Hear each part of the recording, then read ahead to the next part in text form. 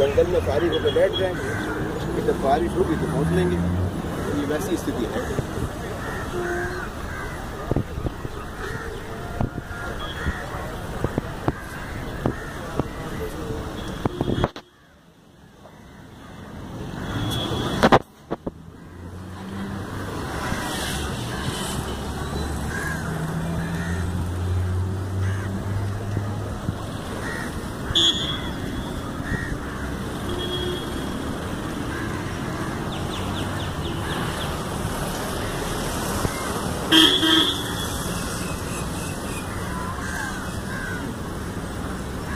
Thank you.